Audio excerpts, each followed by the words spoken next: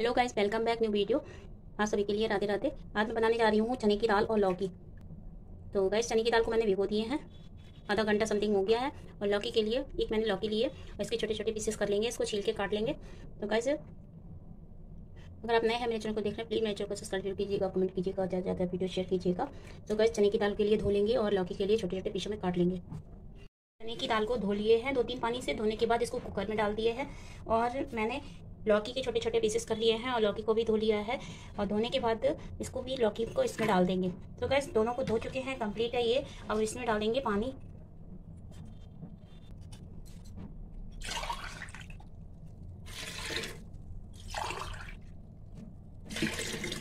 इसमें गैस मैंने दो गिलास पानी डाल दिया है।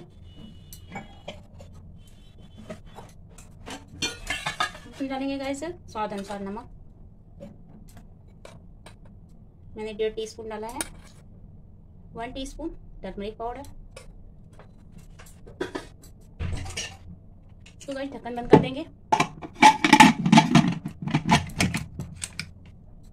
गैस को ऑन करेंगे और ये कुकर रख देंगे। सो गाइस इसमें चने की दाल में गैस कम से कम पाँच सीटी लगाएँगे। तो पाँच सीटी के बाद इसको आधे घंटे के बाद इसको खोलना नहीं है, ताकि पकती है दाल। तो गैस पाँच सीटी आ जाने के बाद इसको बंद कर देंगे, गैस को ऑफ़ कर देंगे और इसका तुरंत नहीं खोलना है, समथिंग आधे घंटे बाद खोलना है। तो गैस मिलते हैं आधे घंटे के बाद। तो गैस आधा घंटा हो चुका है, इसलिए मैंने पाँच सीटियाँ लगाई थी और ये गैस भी निकल चुकी है, अब कुकर भी ठंडा हो चुका है, अब इसको खोलेंगे।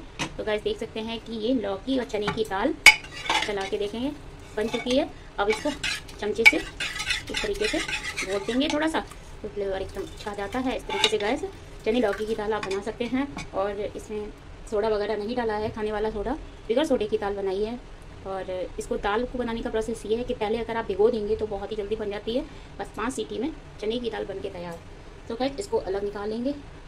तो खैर, दाल को मैंने एक दूसरे बर्तन में निकाल लिया है। अब इसमें लगाएँगे तड़का। तड़का लगाने के लिए मैंने चमचा लिया है, चाहे तो तवे में भी लगा सकते हैं, उसमें भी बड़ी आसानी से भी लग जाता है। और मैं अब लगाऊँगी चमचे में नीचे से। दाल में तड़का लगाने के लिए गैस पहले चमचे को गर्म कर लेंगे। अब इसमें डालेंगे घी।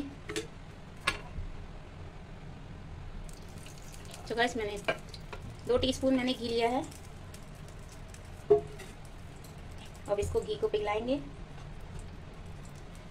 तो गैस तड़का गैस देसी घी से चाहे लगाएँ। किसी से भी लगाएँ आप तो पहले उसको गर्म करना पड़ेगा और उसको हाई टेम्परेचर पर इसको गर्म करना पड़ेगा। गर्म करने के बाद अब इसमें डालेंगे। सो गैस इसमें हींग बिल्कुल बहुत ही थोड़ी ली है मैंने हींग।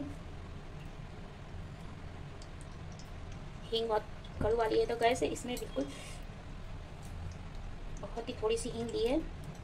ज़्यादा हींग की मात्रा ले लेंगे तो दाल में कड़वापन आ जाएगा तो दाल टेस्टी नहीं लगेगी तो एक नन्ही सी तोड़ के डाली है और इसमें डालेंगे जीरा। गैस को ऑफ़ कर देंगे। इसमें डालेंगे लाल मिर्च पाउडर।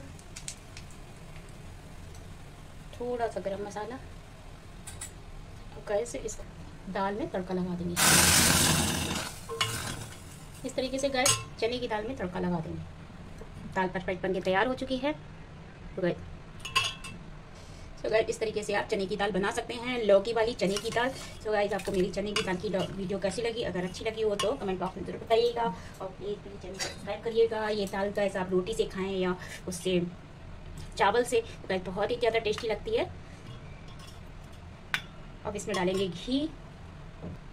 सो गाइस इस तरीके से इसमें घी डाल देंगे और बहुत ही ज़्यादा टेस्टी लगती है गैस ये परफेक्ट बन के तैयार हो गई है। चने की, लौकी की दाल।